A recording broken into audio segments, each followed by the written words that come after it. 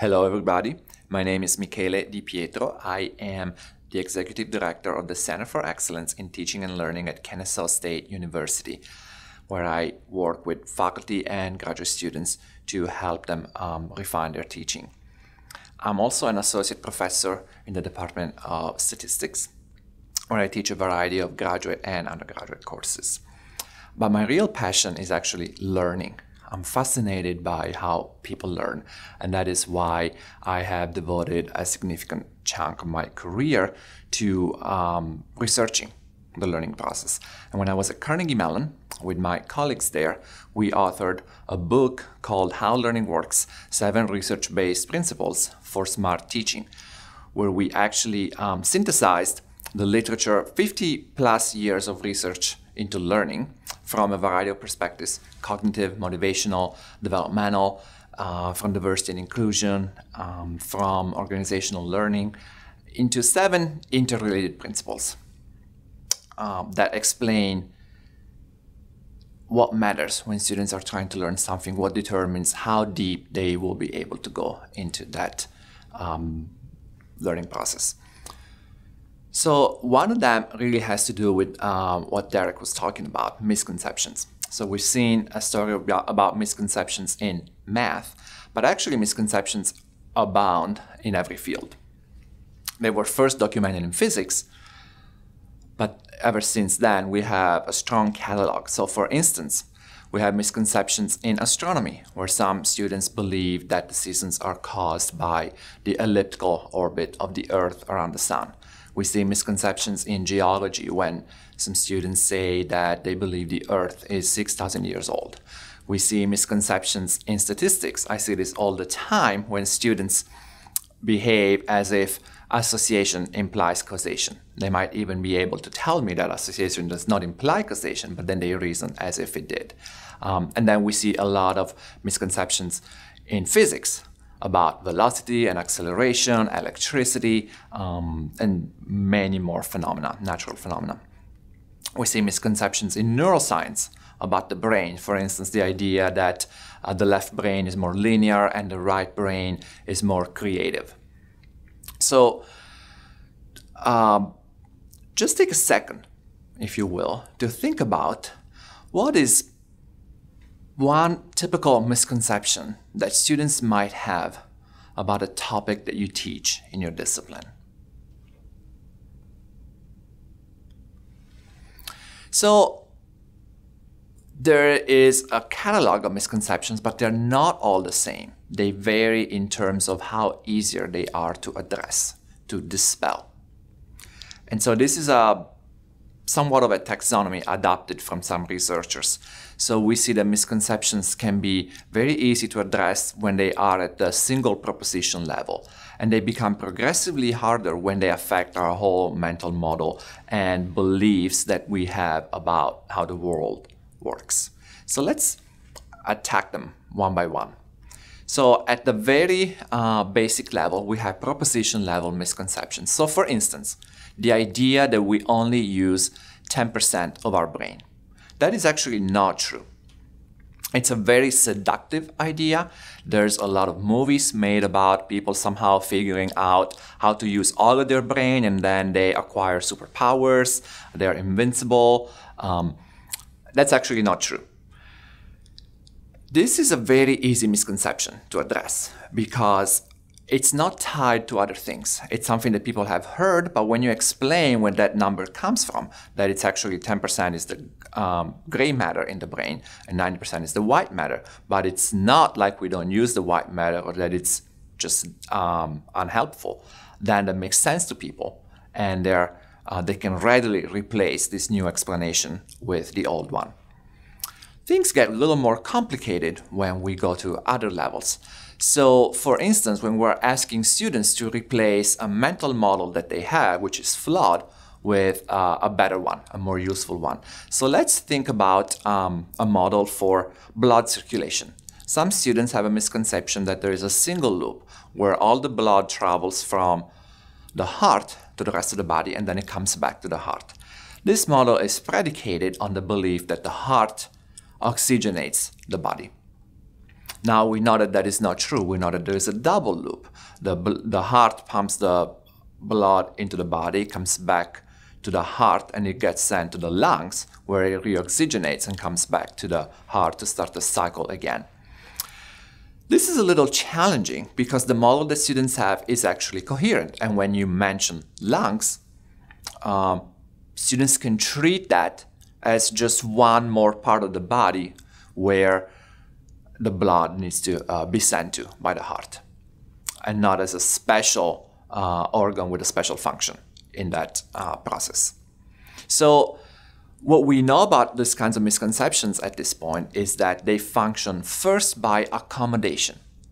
So students figure out early on that they have to accommodate, they, they have to include um, lungs when they talk about circulation to appease the professor, even though they don't really see what's so special about the lungs.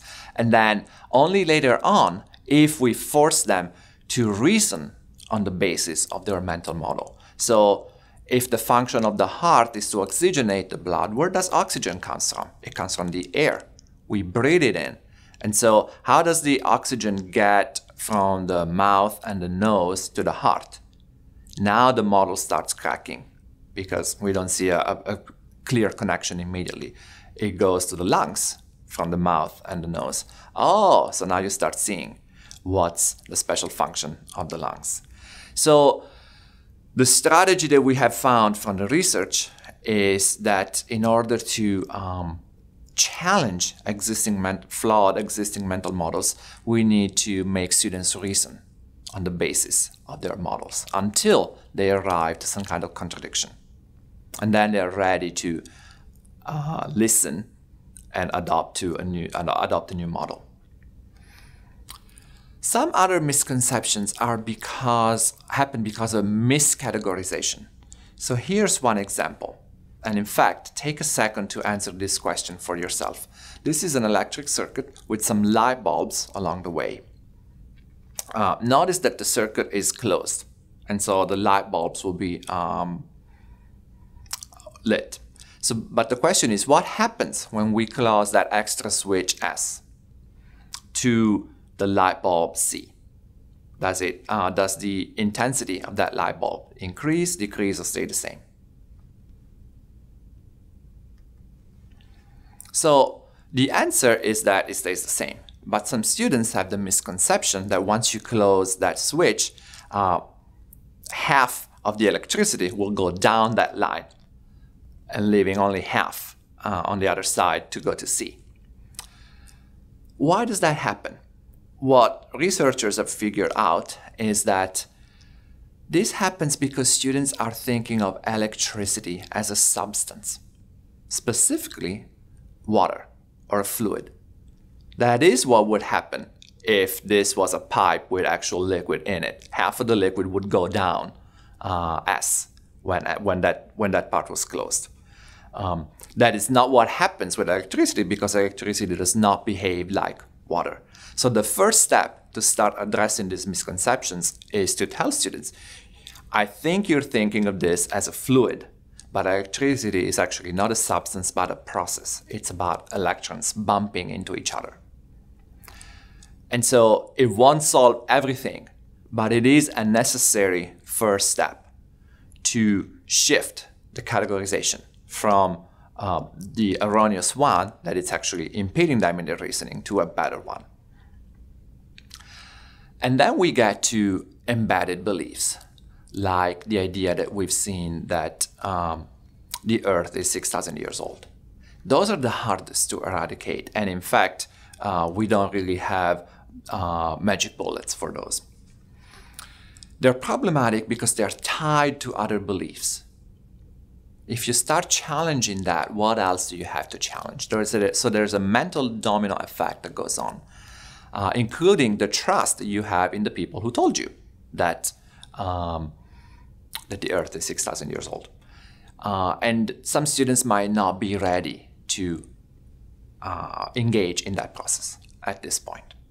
So this would be the hardest of all the misconceptions. Now we talked about prior knowledge that students have that is actually um, inaccurate.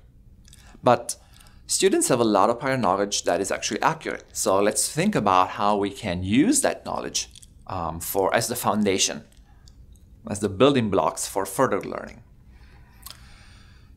So it might not be ready as is. We might need to be adapted and co-opted. So in a, for instance, in a mathematics class or statistics, students might be familiar with some concept, but not recognize them immediately because the notation that they've seen in different classes where they first learned them is different. So that's an easy case of just making sure everybody's on the same page in terms of the language. Or sometimes students might have a little bit of prior knowledge, but it's not enough for the whole problem. But it can certainly be capitalized. So for instance, when I start talking about hypothesis testing, I know that hopefully I can rely on knowledge that students have about measures of center and measures of variability, that they have a sense of means and standard deviations. And they could use that knowledge maybe to start thinking about differences in distributions, uh, differences between two groups, um, and how big those differences are relative to the variability of the distribution. They might not be able to arrive to the whole concept of hypothesis testing on their own, but that's a knowledge that exists there that can be uh, certainly incorporated. Unfortunately, there's a step that needs to happen first and we'll see that with this example. This is actually one of the most replicated um, experiments in psychology. So each card has two uh, sides with letters and numbers on both sides, and we only get to see one side. And we, but we know that if we see a vowel, if, I'm sorry, we know that if we see a letter on one side, then there should be a number on the other side, and uh, vice versa. And there is a rule in this situation. The rule is that if a card has a vowel on one side, it should have an even number on the other side. Now we're concerned that some cards might be breaking this rule. And so we want to uh, check. We want to turn them over to see if they're following the rule. We also want to be efficient and we don't want to turn over cards that we don't need to. So the question is, what is the minimum number of cards that we must turn over to verify whether the rule is being followed or not. And so there's four options there, A, A and 6, A and 7, A, 6, M and 7. So take a second to think about this.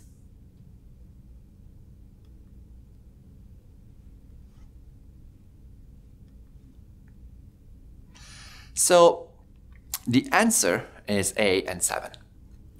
A is a problem because if it has um, if it has an even number on the other side, uh, it's it's uh, it's in violation. Seven is in violation if it has a vowel on the other side. Now some people get confused and think that six might be a problem, but if six has a vowel on the other side, uh, it's fine. And if 6 has a consonant on the other side, there's no rule about consonants, so 6 is fine. For the same reason that there's no rule about consonants, M is also fine and we don't need to check that. This is a hard problem. When I do this in groups with uh, professors, people with terminal degrees, um, they struggle to come to consensus on this and it takes them actually significant time. Um, but I am a big believer in uh, redemption and second chances. So I usually give them a second problem to work on to see how they do on that one. So let's look at the second problem. We still have cards with um, things on both sides, except in this case, these cards in this green problem are stand-ins for students, for people. And on one side, we have their age, and on the other side, we have the drink that they're drinking. And there is a rule in this situation. The rule is if that they're drinking alcohol, they must be over 21. Again, we're concerned that some students are violating the rule. And so we want to ID them. And we also want to be efficient. So what is the minimum number of students that we must ID to verify that the rule is being followed and which ones? Now, this is a much easier problem most people can easily immediately see that we are concerned about the minor, 16, and the person who's drinking alcohol to check whether they are at least 21. And so people do much better on this problem than on the other problem. But if you think about it, these two problems are very similar. They're not identical, but they are isomorphic. There is a mapping between letters and numbers, vowels and consonants, and odd and even numbers, and age and drinks, and age above and below 21, and alcoholic and non alcoholic drinks. And the rule also matches. So, because they're isomorphic, what that means is that the mental operations required to solve the problems are the same. So, how can it be that one is um, much easier than the other, takes less time, and uh, most people agree on the solution? Um, people have different explanations for that, but one of the interesting explanations is that we are very familiar with the rule of uh, the drinking rules in the US, at least. We use them all the time. They affect us. That maybe maybe they affect our kids. Maybe they affect our students if we're chaperoning an event. Maybe we've tended bar at some point and we had to um, pay attention to these facts. The other problem is abstract and does not rely on that rule. But here, here's the interesting fact. When we go into a school and as students to solve the problems, predictably they don't do as well on the on the blue problem the abstract logic problem than they do on the green problem. But when we give them the green problem first and and the blue problem second but in between we tell them now that you're solving this problem think about the problem you just solved. See if there's anything there that helps you this one then the percentage of students who can solve the more difficult problem goes way up and it's statistically significant actually the reason for that is that the knowledge needs to be activated in order to be useful. And that is the same for you if you think about it. Uh, you all had the knowledge of drinking rules if you are viewing this from the US. And it did not dawn on you that you can use that little tidbit in your brain out of the millions of things that are in your brain to help solve that abstract logic problem. So the moral of the story is that most of our knowledge sits there doing nothing most of the time, and that we need to activate it before it can become useful. The good news is that the activation is one of the easy things to do. Just reminding students, like in that example, think of the problem you just solved. Think about the thing you learned in calculus. See how that can apply to this physics problem or this engineering situation. That's all that is needed for the activation if the knowledge is indeed um, in the students' minds.